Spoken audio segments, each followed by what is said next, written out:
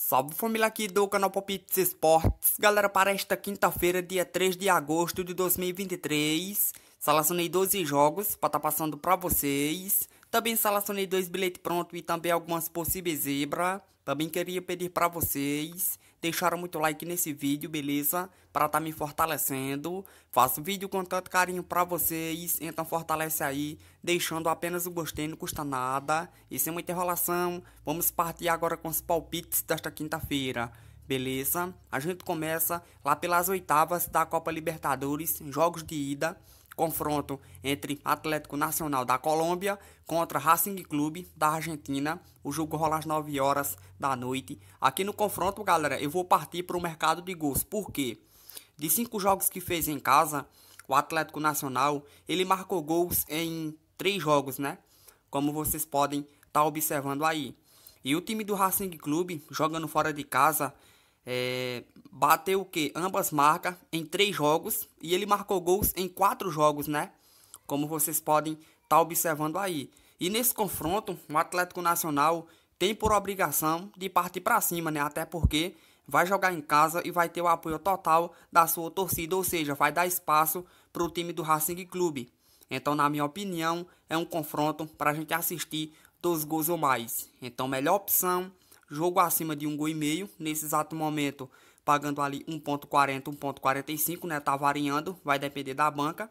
E a opção mais arriscada, dupla chance para o time do Atlético Nacional, paga no ponto 36, beleza? E o possível placar exato, 2 a 1 para o Atlético Nacional.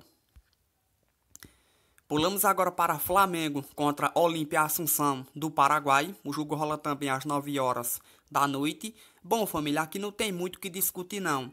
Flamengo tá num grande momento, né? Tá embalado, vem ali de cinco jogos que não perde, com três vitórias e dois empates. Vai pegar uma Olímpia que não se encontra em um bom momento, né? O time já soma cinco jogos seguidos que não ganha uma partida. E o Flamengo, muito acima tecnicamente, joga ao lado da sua torcida beleza? E o ideal seria vitória do Flamengo, né? Mas vejam só a cotação, tá muito baixa, pagando apenas 1.20. Então eu vou tentar dar uma forçada, galera. vou partir para o mercado de gols aqui nesse confronto, beleza? Então a dica que eu vou deixar para vocês aqui é partida acima de 12 gols e meio pagando ponto 50. Outra boa opção também é a vitória do Flamengo no primeiro tempo, pagando ponto 62. Beleza? Impossível placar exato, 3 a 1 para o Flamengo. Pulamos agora para a Copa Sul-Americana, oitavas de finais, jogos de ida, confronto entre São Lourenço da Argentina contra São Paulo. O jogo rola às 7 horas da noite. O São Lourenço é uma equipe que vem ali de é, um empate, duas derrotas e duas vitórias. O São Paulo já vem de três jogos seguidos que não sabe o que é vencer, como vocês podem estar tá observando aí. Porém, nesse confronto, acho muito difícil o time do São Paulo sair com a derrota, né? O time do São Paulo, que nos últimos jogos aí tem levado a melhor contra times argentinos. Beleza? E na minha opinião, o São Paulo é mais time do que o São Lourenço, né? Com todo respeito. E mesmo o São Paulo jogando fora de casa, acredito que ele não perde esse confronto de jeito nenhum. Então a dica nesse confronto vai ser o que? Dupla chance a favor do time do São Paulo, pagando ali 1.50 beleza? E outra boa opção também é jogo acima de um gol e meio, pagando ali o ponto 62. Já que o time do São Lourenço, por jogar em casa, né, vai partir para cima. E esse acima de um gol e meio cabe perfeitamente também, pagando ponto 62. E um possível placar exato, 2 a 1 para o São Paulo, beleza? Pulamos agora para América Mineiro contra Red Bull Bragantino, né, um clássico brasileiro na Sul-Americana. É, quem faz o primeiro confronto em casa é o América, beleza? O América que, que, quando joga em casa tem feito bons jogos, né? O time fez cinco jogos em casa, tem ali um empate, duas derrotas e duas vitórias. O Red Bull Bragantino, fora de casa, não tem jogado bem ultimamente, né? Fez cinco jogos fora, perdeu três e ganhou apenas dois jogos. Na minha opinião, deve ser um jogo aberto, né? O América joga em casa, tem por obrigação de partir para cima, até porque não tem outra opção. O que joga em casa tem a obrigação de fazer o seu resultado, jogando em seus domínios, e vai dar espaço ao Red Bull Bragantino, né? Que é um time muito bom, principalmente jogando nos contra-ataques. Na minha opinião, esse confronto bate ambas marcas. Beleza? Então, sem muita enrolação, melhor opção do confronto, ambas a equipe marca, pagando ponto 83. Opção mais arriscada, dupla chance pro América, pagando ali 1.50, né? Já que o América joga em casa e tem um apoio total da sua torcida e um possível placar exato 3 a 1 pro América Mineiro. Beleza? Pulamos agora para Nublense do Chile contra LDU de Quito do Equador. O jogo rola também às 9 horas da noite. O Nublense é uma equipe que vem de três empates e duas vitórias. A LDU vem da mesma forma, né? Vem ali de três empates e duas vitórias. Na minha opinião, a LDU sai com um bom resultado aqui desse confronto, beleza? Porque na minha opinião, o time da LDU é uma equipe muito mais catimbeira, né? Uma equipe que já tem costume de jogar esse tipo de competição, seja sul-americana ou Copa Libertadores, beleza? E eu vejo a LDU não perdendo esse confronto, né? Uma equipe que, ao meu ver, é muito mais organizada e melhor tecnicamente também, com todo respeito à equipe do Nublense. Mas eu vou de melhor opção nesse confronto, dupla chance a favor do time da LDU de Quito, pagando ali nesse exato momento 1.44 e a opção mais arriscada, jogo de ambas a equipe marca, né? Uma ótima opção também pagando ponto 83 e um possível placar exato 2 a 1 para a LDU de Quito. Beleza? Pulamos agora para América do Norte e Central, Copa das Ligas. Jogo entre New England Revolução contra Atlas. O jogo rola às 9 horas da noite. Lembrando, galera, que é 16 avos de final e é jogo único. Quem perder tá fora.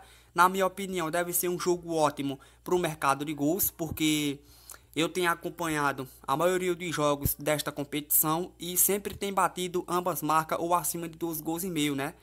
É uma competição aí que a média de gols é muito alta. Por exemplo, vejam só os últimos cinco jogos ali do New England Revolução.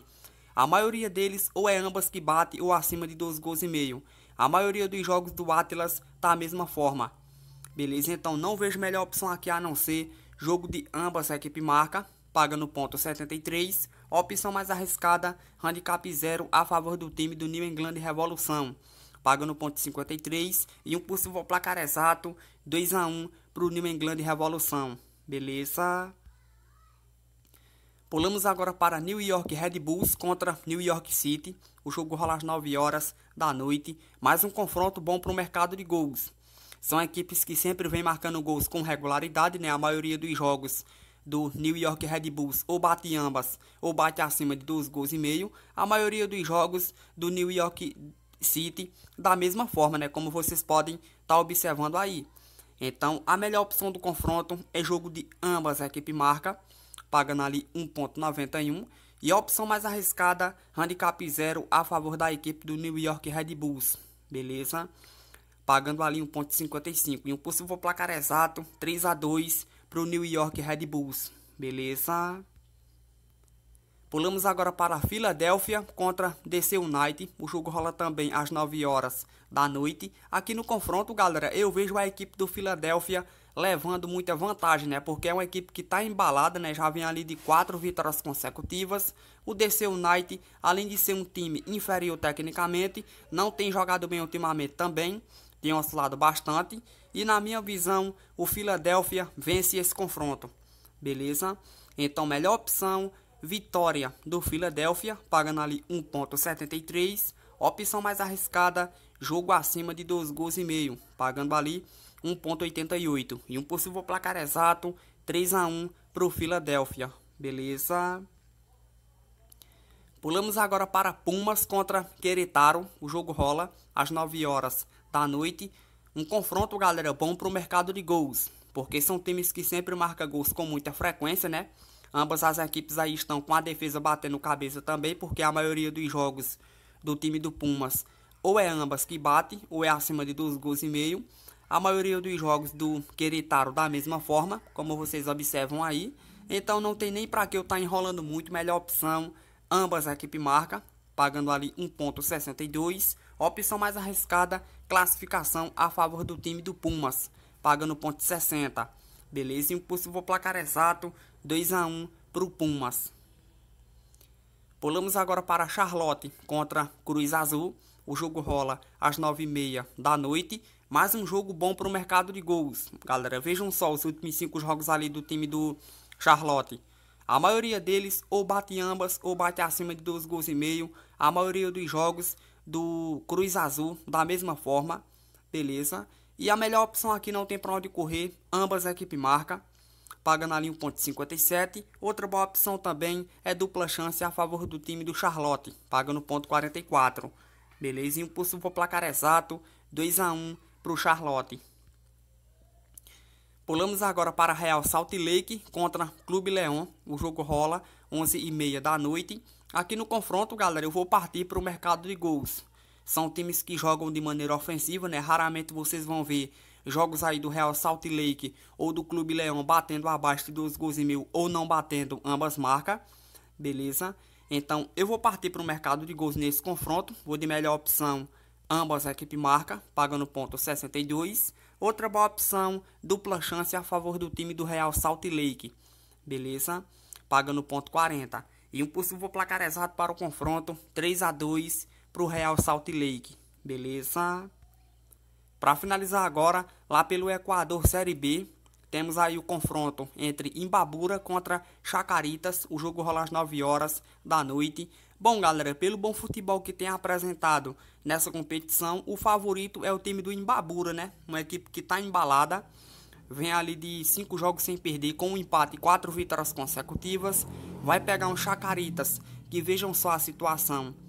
Vem de cinco jogos que não ganha uma partida, né? O time do Chacaritas está numa fase muito ruim. E o time do Imbabura, na tabela da competição, ele briga pelo título. Atualmente é o segundo colocado. Já o time do Chacaritas está sendo o pior time do campeonato. E o time do Imbabura jogando em casa é muito forte, né? Cinco jogos em casa, são três empates e duas vitórias. Por conta disso, melhor opção do confronto, vitória do Imbabura, pagando ali 1.65. Outra boa opção, ambas marcas, pagando ponto 88. E um possível placar exato, 2 a 1 para o Imbabura. Beleza? E é isso, galera. Os palpites foram esses e vamos agora para as possíveis zebras. Beleza? Vamos agora com as possíveis zebras, galera, que eu selecionei para vocês. A primeira, lá pela Liga da Conferência Europeia, qualificação.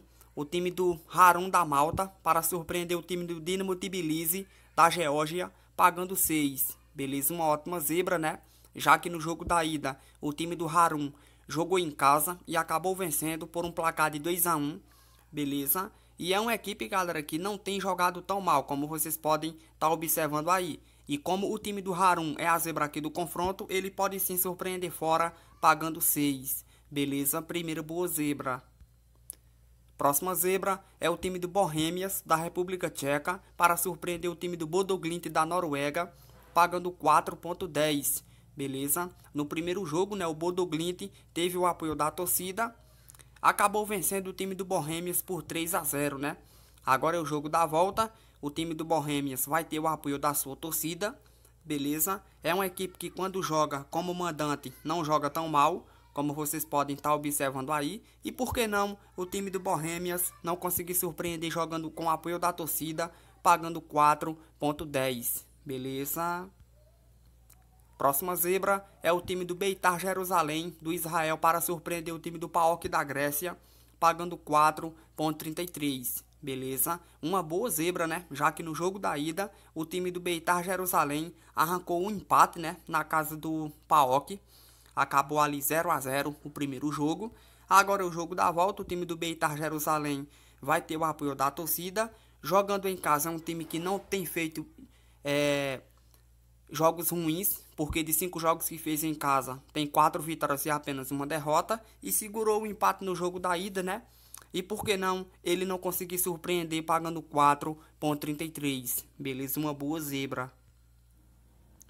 Próxima zebra é o time do Cluj da Romênia para surpreender o Adana Demirspor da Turquia, pagando 4.50, né? Uma ótima zebra, já que no primeiro jogo a partida acabou empate em 1 a 1 beleza? E a sequência do Cluj, ela é muito boa, né? Porque o time vem de cinco jogos sem perder, com três vitórias e dois empates consecutivos. Tá numa boa sequência o time do, do Cluj. E como ele é zebra aqui nesse confronto, ele pode se surpreender fora, pagando 4.50, beleza?